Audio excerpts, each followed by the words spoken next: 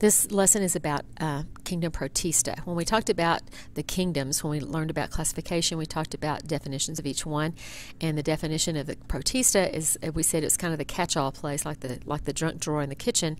It's where you put everything that doesn't fit someplace else. So the definition of a protist is a eukaryote that is not an animal, plant, or fungus. This kingdom has many diverse organisms in it. Many of them, if not most of them, are unicellular. a few are multicellular, but uh, there are also some that are colonial, and just lots and lots of different variety in this in this kingdom.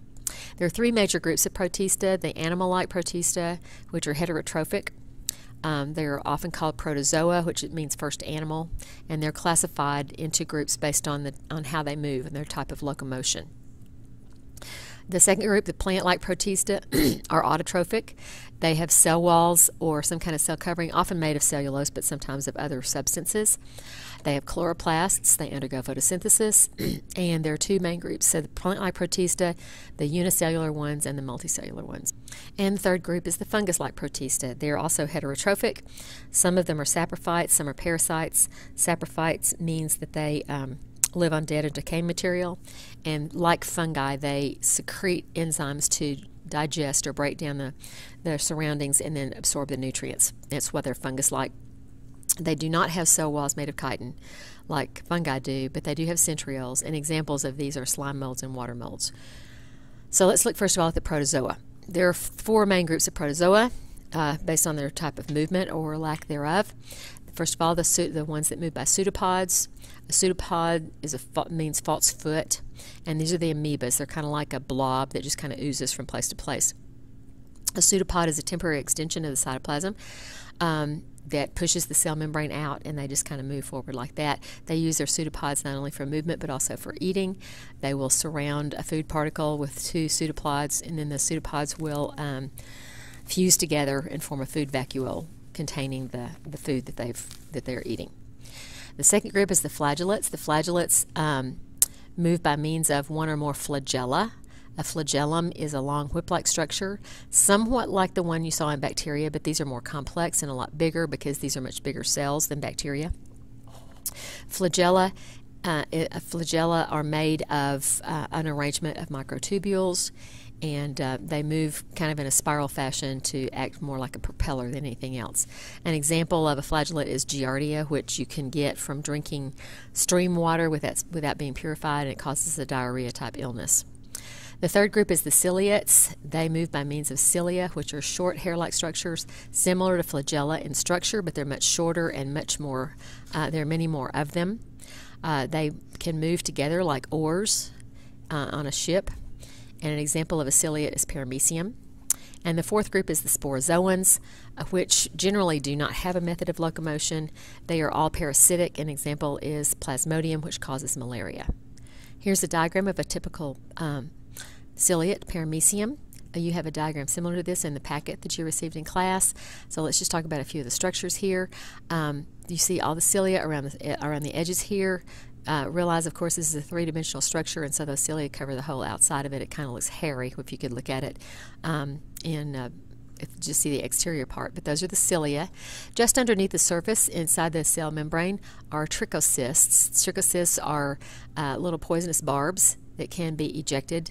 Uh, they're a means of defense for the paramecium when it's being attacked or when it's something else is near to kind of warn off um, other organisms in the area.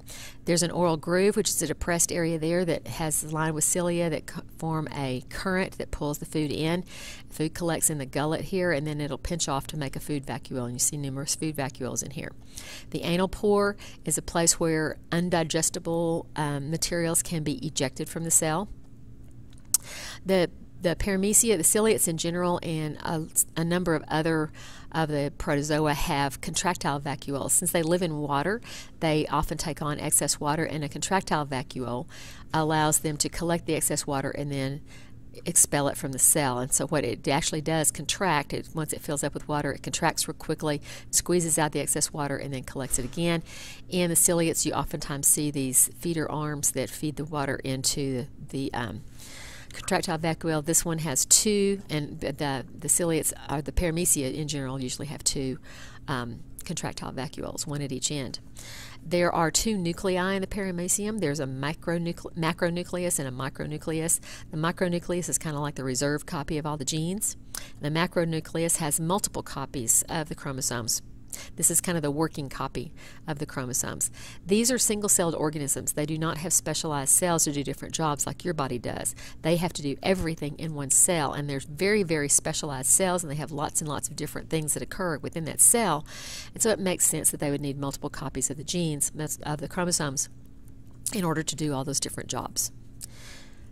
Next, we have a euglena. You have a diagram of euglena in your uh, in your packet. It's a little bit different than this. Yours is facing the other direction and it shows things a little bit differently. There's an eye spot in Euglena. It is not an eye. It detects light in your picture, and uh, it is at the other end, and it's kind of like a little dark oval with little light spots in it. uh, the eye spot allows it to detect the presence of light and move into the light because it has chloroplasts. In your diagram, the chloroplasts look kind of like little football helmets, and the chloroplasts undergo photosynthesis.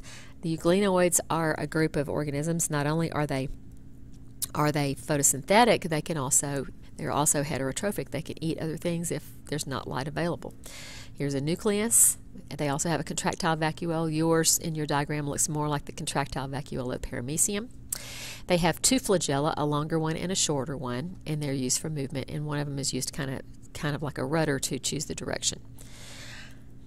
Um, the plant-like protists um, undergo photosynthesis. Remember, photosynthesis requires chlorophyll and often some other pigments as well to trap the energy from light and use it to split water and uh, provide the energy to put the molecules together to make the sugars. They're very important because they are the major contributors to oxygen in the air. If you think about it, uh, although trees are very important to using carbon dioxide and producing oxygen, Earth's about 70% covered with water, and so it makes sense that you would have a lot more uh, since there's so much more surface area covered with water than you would that the algae and the phytoplankton would produce a whole lot more uh, the higher percentage of the oxygen, and that's the case. phytoplankton are unicellular algae that float in the ocean, and they are the base of, of aquatic and marine food chains, just like grass is the base of most food chains on land. There are unicellular algae, which include that euglena we just looked at, plus uh, other organisms like diatoms that have glass shells, dinoflagellates that are bioluminescent, that means they give off their own light in the water, and there are multicellular algae that include kelp and seaweed, and we're going to look at some examples of these. Here we have a number of different kinds of unicellular algae. These are diatoms. There are lots of different uh, glass shells in different geometric shapes. Um, very, very intricate looking, very, very interesting to look at. These are some colonial um, unicellular algae. Here we have some um, dinoflagellates up here. This is a colonial algae called Volvox. That each one of these little, little, dots here is a separate cell that has two flagella, and they the flagella work together to move it around. And the green circles inside are baby colonies that will be. Uh, once this cell gets too, once this colony gets too big to support itself, it'll break open and release the baby colonies. And this one is, is one called Chlamydomonas that is also a flagellated uh, um, algae that has two flagella and it moves through the water. Sometimes algae can overgrow and produce something called an algal bloom. This is by definition a rapid overpopulation of algae.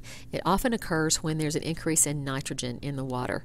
This can occur as a result of runoff from fertilized lands or from sewage in the water that produces a lot more nitrogen. Plants and algae love nitrogen because it allows them lots of um, nitrogen in order to grow. They need nitrogen to make proteins and uh, and grow. And so, oftentimes, when you have a lot of nitrogen, they're going to grow like crazy. That's what happens in the springtime when you put fertilizer on your yard and the grass starts growing like crazy and turning really green. It's because of the nitrogen in the fertilizer. This can cause an overgrowth of algae in a, in a, pond, for instance, and that can be harmful to your pond because once they can, if they continue to grow uncontrollably, they'll use up all the nutrients in the water and then they'll start dying. When they die, they'll their decay will use up the oxygen in the water and kill the other things in the water like the fish. So if you have a bloom occurring in your pond, you need to do something really quick to try to prevent um, the continued bloom and losing your fish as well as other life in the water. A red tide is a special kind of bloom. This is a bloom of dinoflagellates. Here you see a picture of a red tide the dinoflagellates actually give off a toxin. in the water that can kill fish and make the foods from the water toxic. They can also be harmful to you if you're in the water when this occurs. And so, if you're uh, in a fishing village here along the coast of this and you see this red tide coming, you're going to be pretty upset because your fishing is your main source of income, and it'll be a while before you can fish. Even if it kills the fish and they wash on shore, you can't eat or sell the fish because they're harmful. Now, the multicellular algae are often called seaweed, and they these are algae and not plants. They're still in kingdom Protista. They're not plants because they don't have vascular tissue. Plants have tube-like tissues called xylem and phloem that allow water and minerals and food to move through the plant. And these algae do not have those. The seaweeds do not have those, so they are not true plants, which is why they're considered part of the kingdom Protista. There are three main groups of multicellular algae the green algae, the red algae, and the brown algae. They all have chlorophyll, which, which is necessary for photosynthesis to occur, as well as some other pigments. In the green algae, you have both unicellular um, and multicellular or, um, algae in the green group. Some of them are also colonial, like that volvox we saw just a minute ago. They live in groups. Uh, the multicellular ones would be like green seaweed, like ulva, which is called sea lettuce. The red algae also they're red because they also have a pigment called phycobilin. Uh, this allows them to live at deeper depths in the in the water. They don't um, the as the light enters the water, the water slows the the light down, and the most energetic wavelengths of light are going to be the ones that are going to penetrate the deepest, and those are the red. I'm sorry, those are the blue and the purple uh, wavelengths of light. The red ones are the, have the least energy, and so they're going to be filtered out first. And so the the uh, algae that grow the fight the red ones do not need the they do not use the red wavelengths of light and so they can reflect red in the phycobilin pigment. The brown algae also have a brown pigment called fucoxanthin, and this includes the giant kelp and sargassum. Sargassum is the type of seaweed you see washed up on the beach at Galveston. Um, these can live in the water, also on the top of the water, um, and they're found worldwide. Here are some pictures. Here's a red algae. The red algae often grow at a deeper depth, like in a reef formation. Here's the green algae. This is the sea lettuce ulva. This is a giant kelp, and these these uh, round structures here called bladders. They're filled with air and they help keep the stalk um, vertical in the water. And this is sargassum. This is the kind that you see washed up on the beach at Galveston. If you notice, it has little berry-like structures too. Those are also bladders that are filled with air that allow it to float on the surface.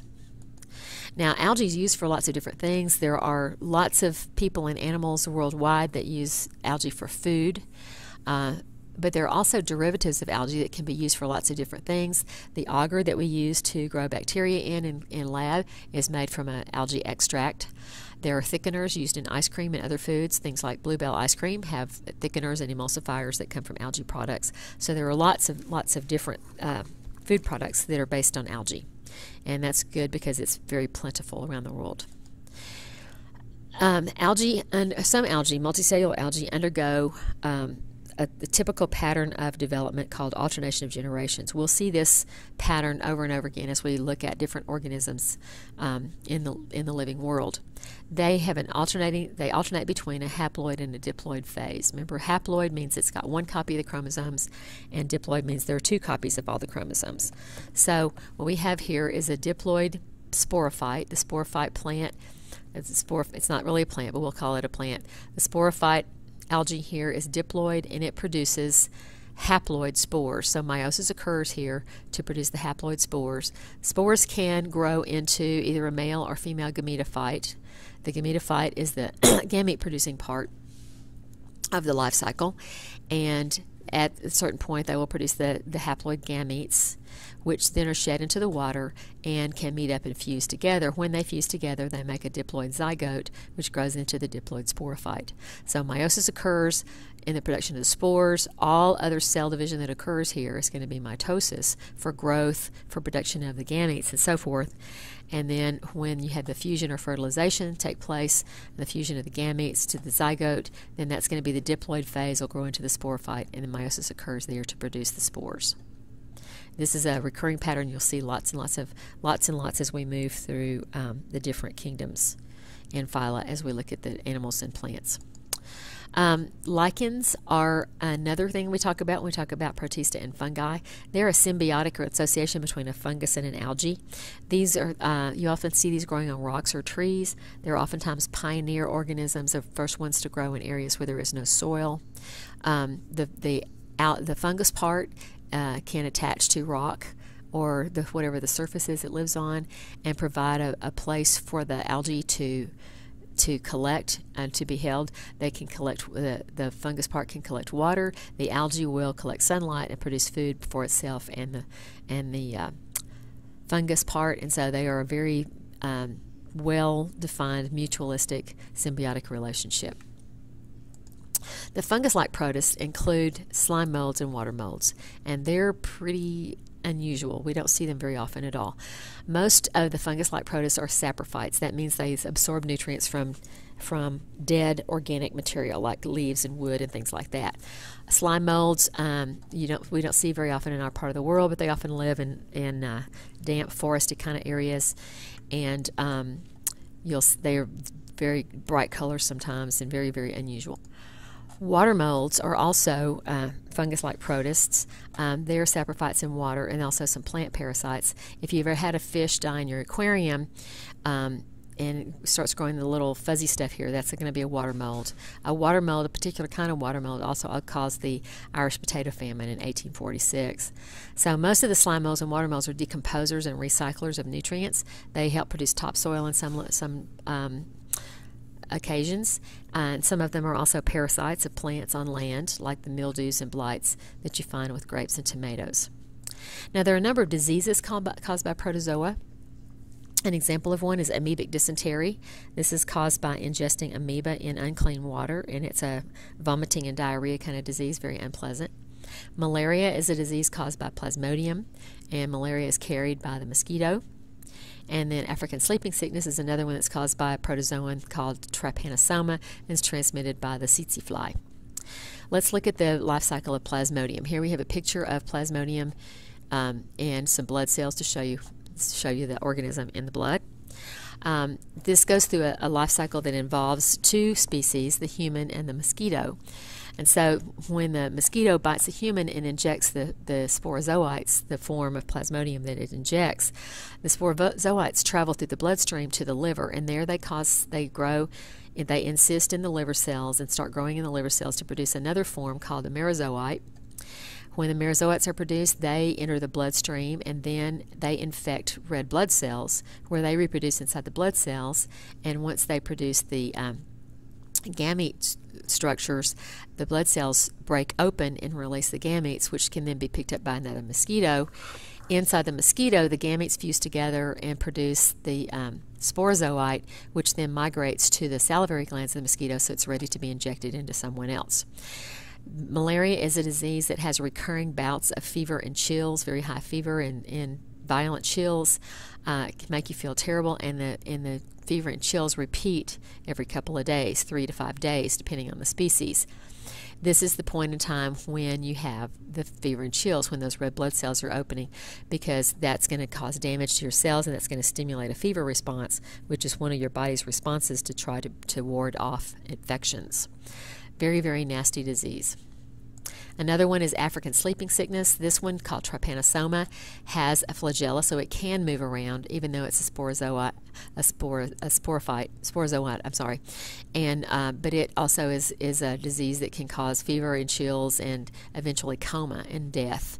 Um, it's not. It's found in Africa, in parts of Africa. It's carried by a fly called the tsetse fly, and is transmitted by its bite, similar to what we saw with the malaria. This concludes notes on Protista.